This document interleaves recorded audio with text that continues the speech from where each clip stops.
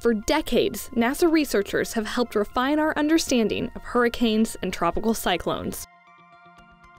Among their tools are computer models that can help distinguish the roles played by sea surface temperature, pressure, and wind speed.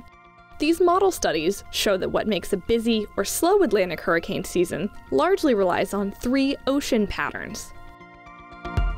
These three factors contribute to either a strong or a weak hurricane season, each acting a little like an on off switch.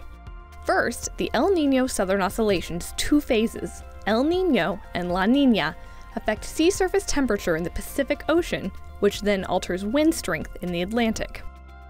During El Nino years, Pacific sea surface temperatures near the equator are generally warmer than average, which drive winds that shear the tops off hurricanes, making it harder for them to form.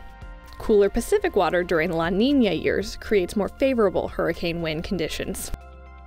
The North Atlantic Oscillation's two phases, positive and negative, describe the difference in pressure between two poles of a pressure system low pressure near Iceland and high pressure near the Azores Islands. When the pressure difference between them is lower than average, hurricanes are more likely to form. When the two pressure systems are more intense than average, wind conditions are not conducive to hurricane formation. Further south, the two phases of the Atlantic meridional mode describe sea surface temperatures, either warmer or cooler. When the area north of the equator is warmer than average, hurricanes are more likely to form. When the same area is cooler, hurricanes are less likely to form. Together, these factors can make or break a strong hurricane season, and understanding how they interact can help better predict the number and strength of hurricanes seen throughout the season.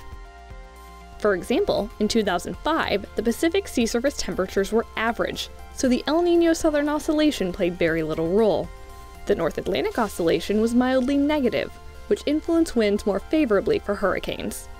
The Atlantic Meridional Mode was the strongest influencer this season, with very warm Atlantic water temperatures leading to a busy and powerful hurricane season, which included Hurricanes Katrina, Rita, and Wilma. In 2013, the El Nino Southern Oscillation favored hurricane formation at the beginning of the season, with a weak La Nina contributing cool water in the Pacific, a neutral Atlantic meridional mode, and a negative North Atlantic oscillation setting up favorable hurricane conditions. However, in mid July, the North Atlantic oscillation suddenly changed to a strongly positive intensity, creating unfavorable wind conditions and limiting hurricane formation in the Atlantic.